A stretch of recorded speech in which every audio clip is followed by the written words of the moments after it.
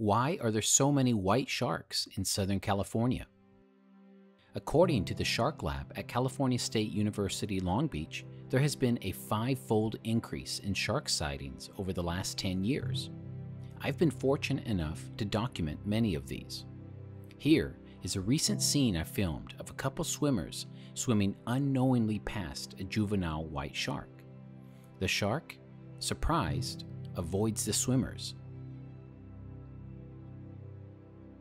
Many sightings are now common among the surf community. Why are they here? The answer is somewhat straightforward. Southern California is a nursery habitat for white sharks, specifically in the months from April to October. It is not rare for surfers to see breaches and have encounters during these months.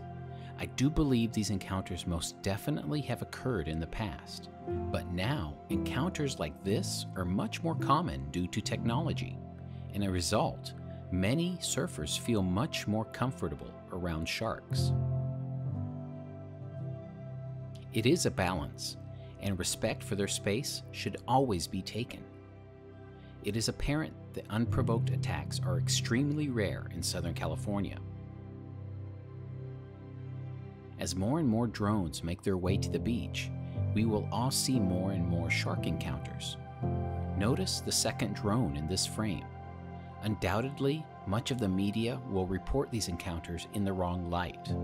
For this reason, I do not allow any of my footage to be used by sensational media outlets, nor do I give permission to any media to use the footage without first having context on how it will be used.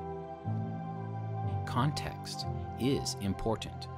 Footage like this, where a shark gets close to a surfer, is now commonplace, and instead of producing fear mongering headlines, the messaging used by the media must change.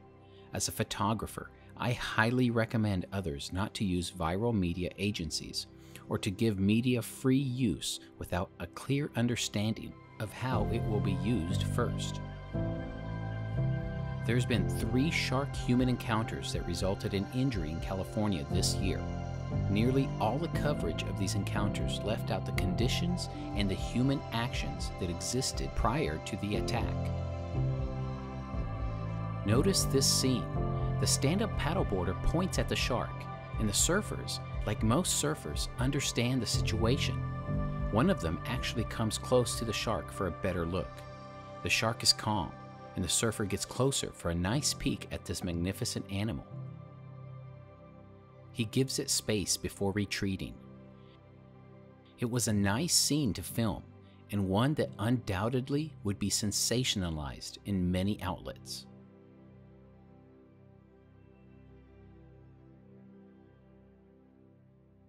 One of the primary reasons these sharks are so close to shore is because one of their favorite food sources is there stingrays. Here is a clear example of a juvenile white shark in shallow water in search of rays. Notice the ray on the ocean floor. As I rotate the drone, you can see the ray flutter away.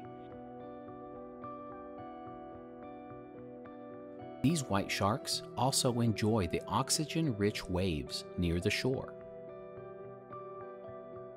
This clip is a beautiful example of why it is called the white shark.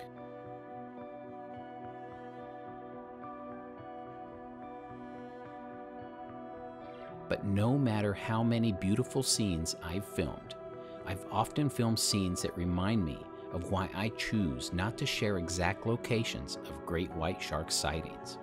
I struggle to share this type of footage because I want to keep this channel positive, so I'm sharing it as an attempt to spread awareness. On this day, I noticed these jet skiers appearing to chase things. When I first saw this, I knew they were likely chasing sharks. Here, you can see the shark. While the jet skiers don't have a visual on the shark, you can see its outline here.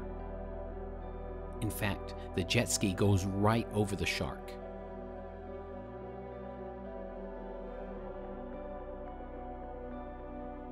And given that this is taking place in an active shark nursery, I knew that this behavior was likely interfering with the shark feeding and nursery environment.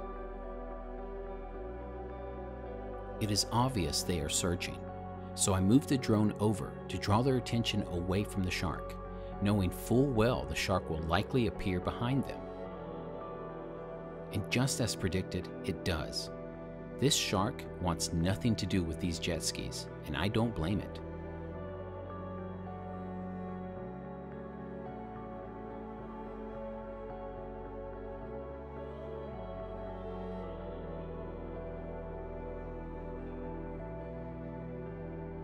It does not surprise me that I found a shark with a dorsal fin cut in half in this exact location just days prior.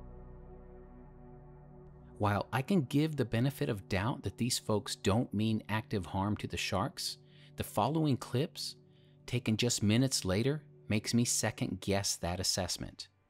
Any person who respects nature will find the next clip absolutely disappointing. This area is an active birding location, used by pelicans, cormorants, and various other birds. Notice the dark spots on the water. Those are sardines, and these birds are there to eat. The jet skiers notice the birds, and the following actions are easy to discern. This jet skier purposely drives through the flock. Here, you can actually see him striking a few birds and dispersing the flock of hundreds. It's behavior that any person who respects nature will find hard to watch. And while some folks will undoubtedly see nothing wrong with this, it is perhaps an opportunity to further reflect upon how our actions affect the nature around us. Striking a few birds may seem minor, but it may also be illegal under the Migratory Bird Act in the United States. Regardless, I always see footage that can help me see past the bad behavior. Here's an example.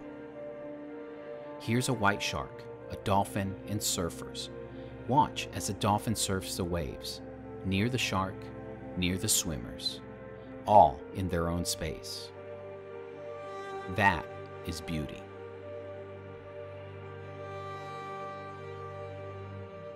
There are two certainties for the coast of Southern California. Great white sharks are close, and more humans are entering the water. Understanding these creatures, respecting their space, and acknowledging that they actually avoid human interactions much more than they do engage with humans is key to understanding the rare moments when they do engage. Yes, they are here in large numbers, and beautiful scenes like this happen every day. These patterns in nature are breathtaking. White sharks are a major part of this great ecosystem. Respecting their nursery areas is vital and imperative. Only those that take it for granted cannot see it that way. The reality is, the coast of California is amazing. You don't have to take my word for it. I can merely show you.